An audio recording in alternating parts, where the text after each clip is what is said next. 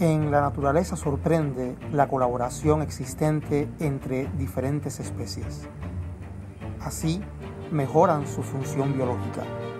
Cuando son acciones entre miembros de la misma especie, le llamamos a esto cooperación.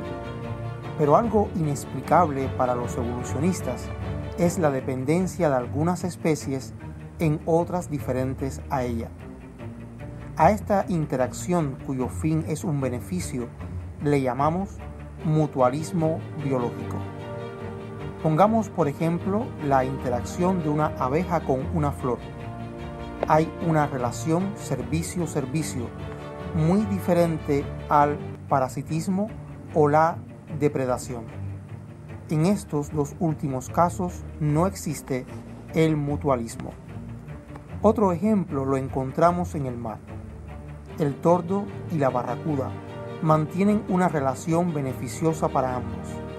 Asusta ver cómo el tordo nada sin temor entre los agudos dientes de la solitaria y temible barracuda. Pero ¿por qué puede hacerlo con total impunidad? La barracuda obtiene un beneficio de todo esto, pues el tordo evita que ésta padezca de infecciones.